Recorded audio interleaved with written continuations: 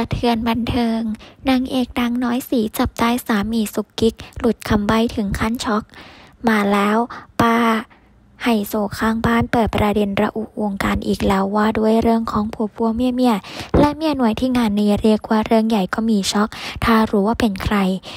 โดยป้าไฮโซแอบมากระติบว่า